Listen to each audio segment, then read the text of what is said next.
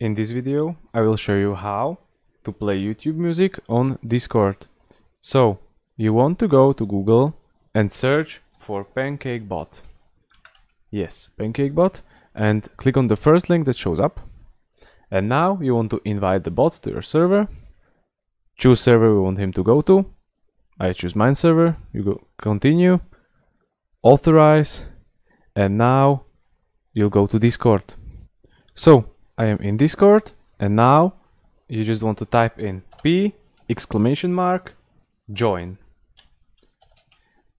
So now the PancakeBot joined our lobby, our voice channel, and now you want to type in P exclamation mark play and copy and paste the link of the YouTube song you want him to play. And as you will see, he will play the song for you.